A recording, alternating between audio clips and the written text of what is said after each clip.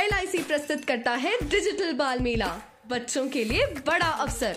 हिमाचल प्रदेश विधानसभा बाल सत्र 12 जून 2023 अड़सठ बच्चे पहुँचेंगे शिमला। इक्कीस हज़ार का इनाम। नमस्कार, मेरा नाम अदिति शोम है। मैं राजकीय वरिष्ठ माध्यमिक पाठशाला मूरंग की छात्रा हूँ। मेरी उम्र पंद्रह वर्ष है। मैं इस बच्चों की सरकार में शिक्षा मंत्री बनकर इस पूरे देश में स्कूल प्रशासन के अंदर जितनी भी कमी पेशियाँ हैं, उनको पूरा करना चाहूँगी।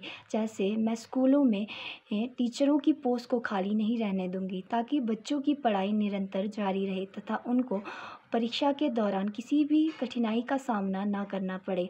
इसी तरह मैं बच्चों को पढ़ाई से संबंधित सभी सुविधाओं, सुविधाएँ उपलब्ध करवाऊँगी। धन्यवाद।